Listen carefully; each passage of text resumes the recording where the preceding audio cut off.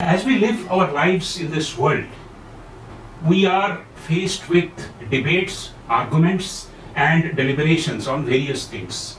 Sometimes very pleasant, sometimes unpleasant, sometimes on issues, sometimes on trivial matters. Many times during these debates and discussions, we find that logical arguments are made, rational arguments are made, but many other times there are illogical arguments, emotional arguments which do not have any basis and that leads to chaos, that leads to disorder. Opponents of uh, these kind of uh, illogical or emotional debates say that it leads to better humankind, but wise people will have to uh, understand what is an illogical argument, how to avoid them, how to defend when an illogical argument is made.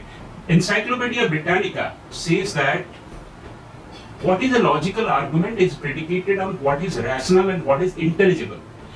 If human beings can understand it, appreciate it, and internalize it, probably it is a logical argument. However, if there is a break somewhere of the reasoning, break somewhere of the basis, then it is an illogical argument. In this small format of a video of about five to seven minutes, it's very difficult to uh, completely discuss all the uh, arguments regarding fallacious arguments. So I'll give five or six important examples and rest of it I think you can always explore uh, topic which is illogical debates and discussions and how to face them. The first example that comes to my mind is the fallacy of uh, slippery slope. There are people who will say that if this happens, then the next one will happen, the next, the next one will happen, then the next one will happen. Remember when uh, co-education came in, when girls and boys were not segregated into different classes or different rows, the conservatives first told, oh, first the girls and boys will sit together, then they will start kissing in the class, then they will hug each other, then they may have sex in the class. So this is called the slippery slope argument and the most common defense or the logic that must be given as a counter to this is that most probably it will stop after the first one itself. History shows that it doesn't go beyond that. The second one is known as the perfectionist fallacy. Now we are seeing uh, the uh, COVID vaccination going on.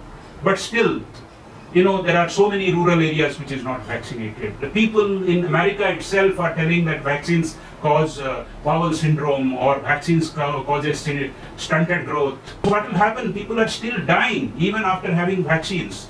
So this is called a perfectionist fallacy, which ignores the majority evidence or the documented evidence that there is a preponderance of vaccines defending against the disease called corona. So this perfectionist fallacy has to be defended by saying that we are living in an imperfect world, we are looking at optimization, we are looking at achievability, we are not looking at absolute goodness. The third illogical argument is called the monster association fallacy. The commonly quoted example is that Hitler was a vegetarian, so most of the vegetarians suppress their uh, fascist tendency and inside of it vegetarians are generally fascist. Somebody bad has done something, so it must be a bad thing. No data is relied upon, it becomes very logical. Now the defense to this is that yes, Hitler also believed that the earth uh, moved around the sun. So he also believed in scientific preparedness of the uh, military. He also believed that advanced planning of the airplanes could uh, make Germany a superior power. The next important fallacy that all of us must be aware is called the circular argument fallacy or the fallacy of uh, binaries. Sometimes, let us say there is a question that uh, tell me whether you have stopped beating your wife. Tell me yes or no. Now, this argument has many problems with the question itself. I may not have a wife at all, I may not be married, or I wouldn't have beaten my wife at all. So that means there is no question of stopping beating my wife. All the bachelors could be either unmarried or married. Is a binary which is fallacious by itself. I may be a child, so the question of bachelorhood is an irrelevant question. I may be a monk, and monks do not marry at all. Our defense to this kind of argument is that question must be improved. The question per se must be questioned. The next one is called sequestrial fallacy. Something irrelevant suddenly comes in. The emotion has gone to such a level that this fallacious agreement, let us say we are discussing about the uh, education system. Somebody brings an argument saying that because the people have become all very religious, the education system has gone to dogs. This is a place where you need to withdraw.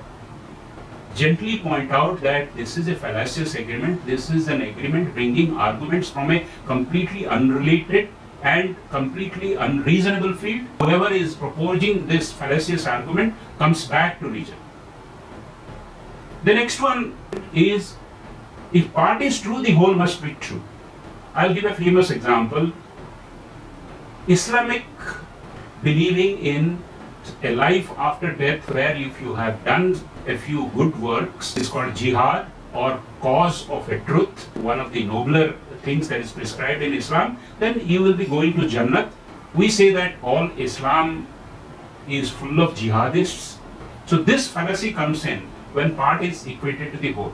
The defense of it is generally given as a haystack example. Haystack may be very heavy, but the individual items may be light.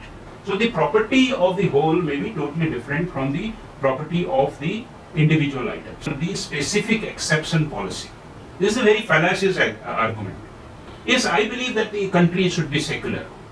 But at parts, we should be giving way to individual religious freedom. Country should be having a civil code. But in part, exceptions should be made because there are individual rights. Where you believe a principle but want a specific exception for yourself or for the areas in which you believe there should be an exception leads to a fallacy. Often this leads to emotional arguments because the specific exception many times will have differing opinions. So another fallacy called base case fallacy, if the base case is not calculated properly, today we have so many COVID cases. Oh, India has the highest amount of death in the world. But if as a percentage of population it is very very low, then we will have to do the basis correctly. Similarly, when we are talking of exceptions, that India is a outlier in terms of death rates, then the base must be calculated properly as a defense. So I have given five or six important uh, fallacies leads to logical arguments becoming illogical. Let us be aware of them this will make us embrace argument and debates in a, in a very healthy way or avoid them if we want to avoid them. Thank you very much.